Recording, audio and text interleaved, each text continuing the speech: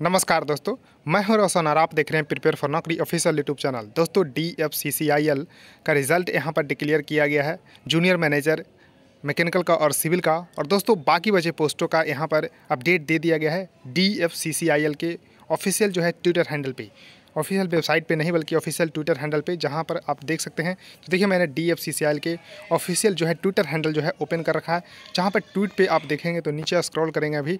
तो यहाँ पर देखिए ट्वीट किया गया है पाँच घंटा तकरीबन पहले कि result for the post of the junior manager civil, junior manager mechanical against advertisement number चार दो हज़ार इक्कीस have been uploaded on the career page of the D F C C L जैसा कि मैंने आपको अब वीडियो बनाकर भी दिया है तो आप लोग देख लिए होंगे। और देखिए result of the remaining ten categories देखिए, दस कैटेगरीज का पब्लिश किया जाएगा अगले दस दिनों में।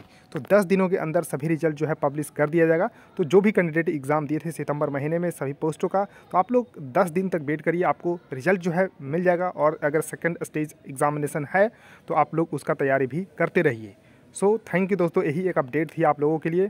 सो so, इस वीडियो में इतना है। देखिए चैनल को सब्सक्राइब करके बेल आइकन को ज़रूर प्रेस रखिए और जो है इस वीडियो को ज़रूर अपने दोस्तों के साथ शेयर कर दीजिए। सो थैंक यू दोस्तों इस वीडियो में इतना ही।